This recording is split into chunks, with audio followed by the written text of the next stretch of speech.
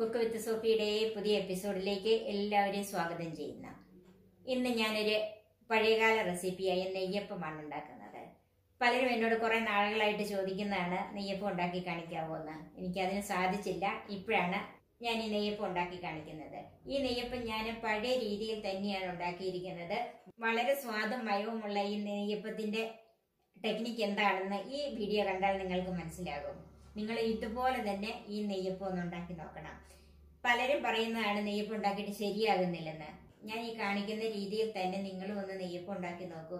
നിങ്ങളുടെ നെയ്യപ്പം നല്ല മയമുള്ളതും രുചിയുള്ളതുമായി കിട്ടും.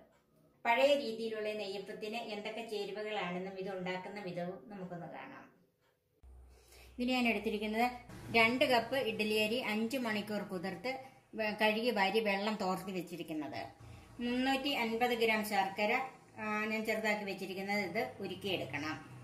ഒരു ടേബിൾ സ്പൂൺ കറുത്ത എള്ള് അര ടീസ്പൂൺ ചെറിയ ജീരകം മുക്കാൽ ടീസ്പൂൺ ഏലക്ക പൊടിച്ചത് രണ്ട് രണ്ടര ടേബിൾ സ്പൂൺ ഗോതമ്പ് പൊടി കാൽ കപ്പ് തേങ്ങ ചെറുതായി നുറുക്കിയത് നെയ്യപ്പം വറക്കാൻ ആവശ്യമായി വെളിച്ചെണ്ണ. ഞാൻ നെയ്യ് ചേർക്കുന്നുണ്ട്. ഇത് തേങ്ങാക്കൊത്ത് ഈ നെയ്യിലൊന്ന് വറുത്തെടുക്കണം. അതിനാവശ്യമായ നെയ്യ് വെള്ളം.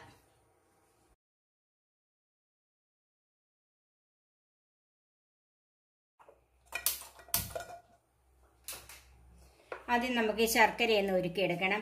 ഇത് ഈ ശർക്കര ഉരുക്കി അത് തണുത്ത് കഴിയുമ്പോൾ ആ വെ ആ പാനി ഒഴിച്ചാണ് അരി അരച്ചെടുക്കുന്നത്.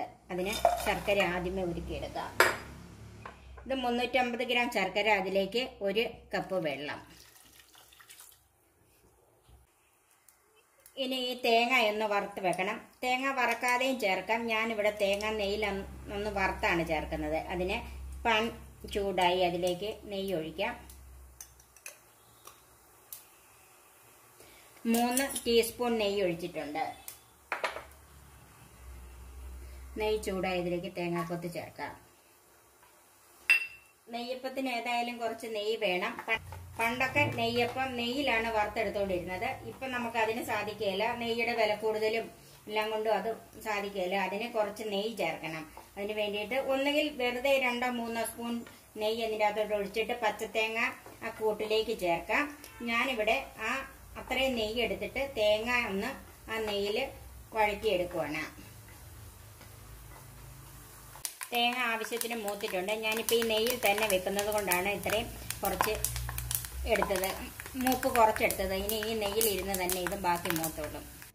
ശർക്കരപ്പാനി നന്നായിട്ട് തണുത്തിട്ടുണ്ട്. ഇനി അതൊഴിച്ച് നമുക്ക് അരി ഒന്ന് അരച്ചെടുക്കാം മിക്സിയുടെ ജാറിലേക്ക് മാറ്റാം. ഒന്നായിട്ട് പറ്റുമോ അല്ലെങ്കിൽ രണ്ടായിട്ട് രണ്ട് പ്രാവശ്യമായിട്ട് അരച്ചെടുക്കാം. കുറച്ച് ശർക്കരപ്പാനി ഒഴിക്കാം.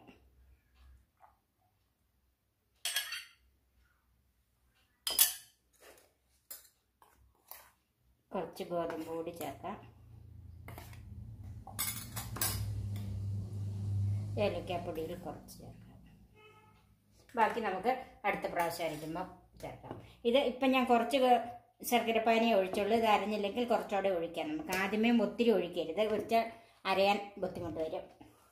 ഇപ്പം ആദ്യത്തെ പ്രാവശ്യം ഞാൻ അരച്ചെടുത്തിട്ടുണ്ട്. ഇത് അരച്ചെടുക്കുമ്പോൾ നല്ല തരി അല്പം തരി വേണം. തീരെ പേസ്റ്റ് ആക്കി അരയ്ക്കരുത്. ഇത് കണ്ടോ? ഇതുപോലെ അല്പം തരി കിടക്കണം. അതായത് പുട്ടിന്റെ പൊടിയുടെ ഒരു തരി ഇതിന്റെ അകത്ത് വേണം എന്നെങ്കിൽ നെയ്യപ്പം ശരിയാവുള്ളൂ. ഇത് നമുക്കൊരു പാത്രത്തിലേക്ക് മാറ്റാം.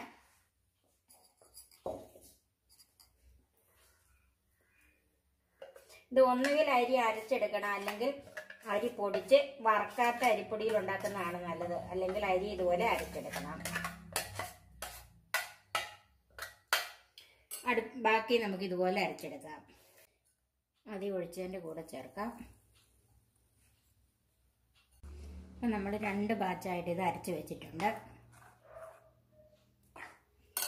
ഇനി അതിലേക്ക് തേങ്ങ വറുത്തത് ആ നെയ്യോട് കൂടി തന്നെ ചേർക്കണം. ജീരകം.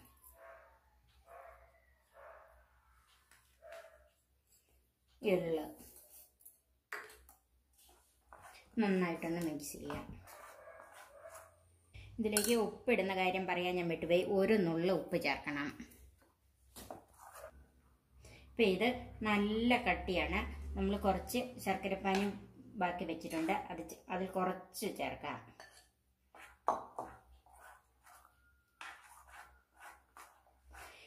ഇത് ഇഡ്ഡലി മാവിന്റെയും ദോശമാവിന്റെയും കൂടെ ഇടയ്ക്കുള്ള ഒരു അയവിൽ വേണം ഇത് ഇരിക്കാനായിട്ട്. ഇപ്പം ഇത് ഇങ്ങനെ ലൂസായി നിർത്തോണ്ട് സങ്കടപ്പെടേണ്ട. ഇത് എട്ട് മണിക്കൂർ ഫെർമെന്റ് ചെയ്യാൻ വെക്കുവാണ്. അന്നേരത്തേക്കും ഇതിന്റെ കൺസിസ്റ്റൻസി പാകമാകും. ഇനി അങ്ങനെ പാകമായില്ലെങ്കിൽ നമ്മൾ കുറച്ച് ശർക്കരപ്പാനിയും മിച്ചമുണ്ട്. ഒരു രണ്ട് ടേബിൾ സ്പൂൺ ശർക്കരപ്പാനിയും കൂടെ മിച്ചമുണ്ട്.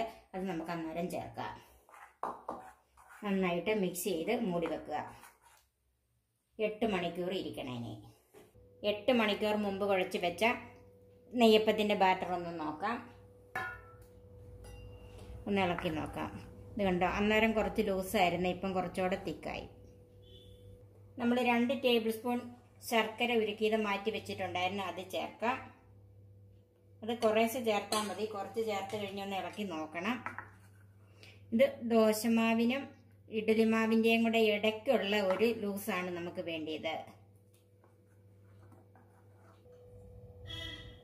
കുറച്ചുകൂടെ ഒഴിച്ചു കൊടുക്കുകയാണ് ശർക്കരപ്പാനി ഒഴിച്ച് നന്നായിട്ട് ഇളക്കണം.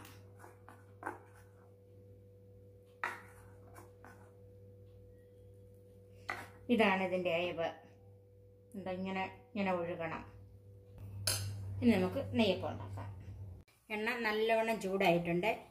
ചിലപ്പം ആദ്യത്തെ ഒന്ന് രണ്ടെണ്ണം ശരിയായെന്ന് വരിക. അല്ല എണ്ണയുടെ ചൂടൊക്കെ ഇന്ന് കറക്റ്റ് ആകുമ്പോഴായിരിക്കും. അത് രണ്ടു മൂന്നെണ്ണം ഉണ്ടാക്കി കഴിയുമ്പോഴായിരിക്കും ചിലപ്പം ശരിയായി വരുന്നത്. നെയ്യപ്പം ഒഴിക്കുമ്പോൾ തീ ഹൈ ഫ്ലെയിമിൽ തന്നെ വെച്ച് കൊടുക്കണം. അത് കഴിഞ്ഞ് വേണം ഇത് തീ കുറയ്ക്കാൻ.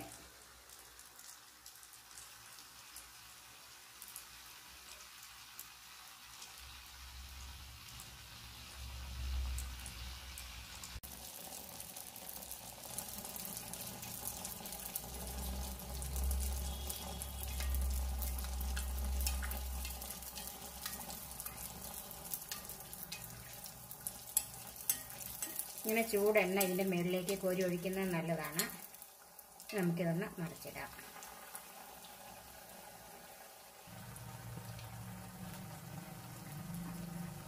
ഇപ്പം മൂത്തിട്ടുണ്ട് നമുക്കിത് കോരിയെടുക്കാം.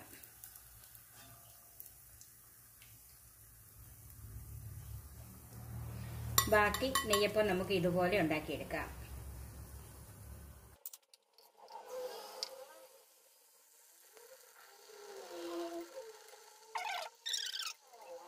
ഇഷ്ടപ്പെടുന്ന ട്രഡീഷണലായ നെയ്യപ്പം റെഡിയായി. നിങ്ങളും ഇതുപോലെയൊന്ന് നെയ്യപ്പം ഉണ്ടാക്കി നോക്കണം. ഇത് വളരെ സോഫ്റ്റും സോഫ്റ്റാണ്. ഇതിപ്പം ചൂടുണ്ട്. എന്നാലും ഞാൻ ഇത് ഒരെണ്ണം ഒന്ന് മുറിച്ച് കാണിക്കാം. ചൂടുണ്ട്. അതുകൊണ്ട് പിടിക്കാൻ ഇച്ചിരി ബുദ്ധിമുട്ടുണ്ട്. ഉണ്ടോ അകം വളരെ സോഫ്റ്റാണ്. അരിക് ഇങ്ങനെ മൊരിഞ്ഞിരിക്കണം. ഇതാണ് നെയ്യപ്പത്തിന്റെ ഷേപ്പ്. ഞാനിത് ഒത്തിരി വലിപ്പത്തിലല്ല ഉണ്ടാക്കിയത്. എനിക്ക് ഇരുപതെണ്ണം കിട്ടി ഈ അളവിൽ ചെറുതാണെങ്കിൽ ഇതിലും കൂടുതൽ കിട്ടും. വലുതാണെങ്കിൽ എണ്ണം കുറയും. എന്റെ ഈ ചാനൽ സബ്സ്ക്രൈബ് ചെയ്യാൻ മറക്കരുത്. എന്റെ ഫേസ്ബുക്ക് പേജ് ലൈക്ക് ചെയ്യാനും ഷെയർ ചെയ്യാനും കമന്റ് ചെയ്യാനും വിട്ടുപോകരുത്. ബെല്ലൈക്കൺ ക്ലിക്ക് ചെയ്യുന്ന കൂടെ നിങ്ങൾ ഓൾ എന്ന ഓപ്ഷനും കൂടെ ക്ലിക്ക് ചെയ്യണം എന്നെങ്കിലേ നോട്ടിഫിക്കേഷൻ നിങ്ങൾക്ക് കിട്ടുള്ളൂ. നല്ല നല്ല റെസിപ്പികളുമായി നമുക്ക് വീണ്ടും കാണാം. ഞാൻ സോഫി കുര്യാക്കോസ്.